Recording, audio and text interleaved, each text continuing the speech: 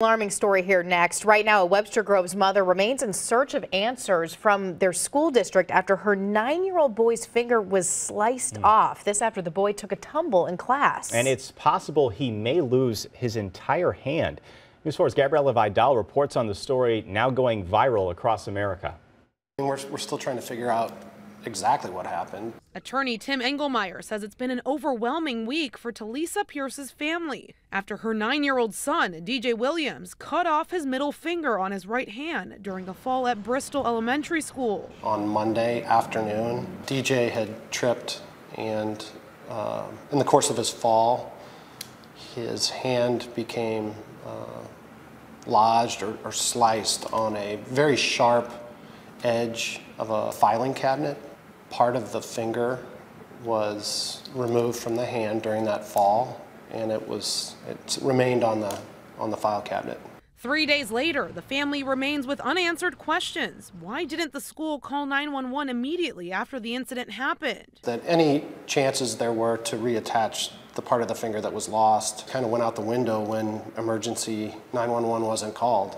And why was the family not notified about the severity of the incident?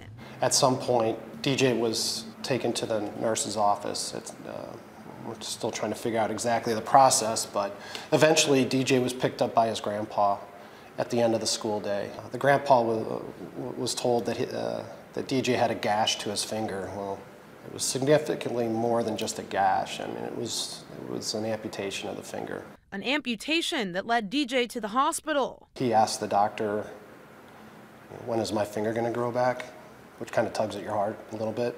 Engelmeyer, who's been a lawyer and friend of the family, says DJ is in good spirits despite the accident. Very athletic, very uh, rambunctious, energetic, wonderful, wonderful boy. But there's fear he may now lose his entire hand from the severity of the injury. We're hoping and praying that, that the damage is done. To clarify, there is no plans for any lawsuit against the district? Uh, we're, we'll evaluate everything as, as things progress, but to answer your question, right now we, we have not discussed a lawsuit in detail. Engelmeyer says right now he's helping the family get answers. The district declined to comment about the incident on camera, but say they are investigating. I did send um, a simple letter over to the district today, just asking them to protect or secure video and, and other communications from that day. While the family waits to learn more about DJ's injury during their visit with doctors tomorrow at Children's Hospital.